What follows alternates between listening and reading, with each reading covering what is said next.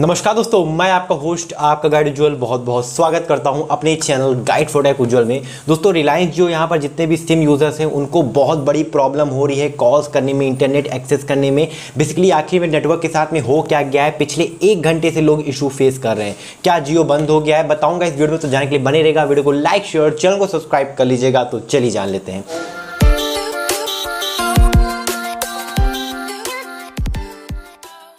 Basically मैंने यहाँ पर ट्विटर चेक किया और ट्विटर पे काफ़ी लोग जो है जियो सिम यूज़र्स वो टैग कर रहे हैं जियो को और कह रहे हैं उनको बहुत ज़्यादा प्रॉब्लम फेस हो रही है।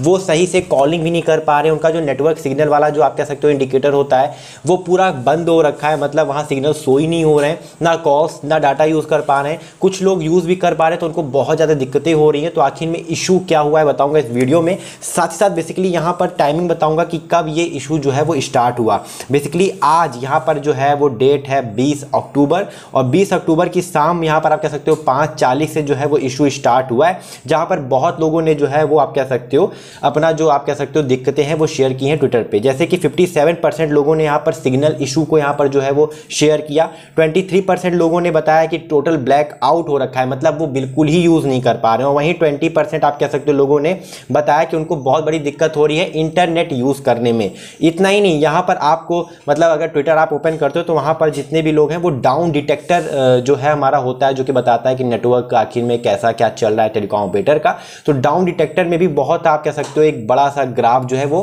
हाई देखा गया, ठीक है? तो ये जो है वो मतलब बहुत जल्द फिक्स कर दिया जाएगा, दिल्ली, मुंबई, नागपुर जैसे आप कह सकते हो बड़ी बड़ी सिटीज़ में जितने भी यूज़र्स हैं, उन्होंने ये इशू फिल की मतलब फेस किया है, और बहुत लोग जो है वो स्क्रीन और यहाँ पर सिग्नल को लेकर वीडियो और अपनी जो प्रॉब्लम है वो शेयर करें जियो के साथ में टैग करके।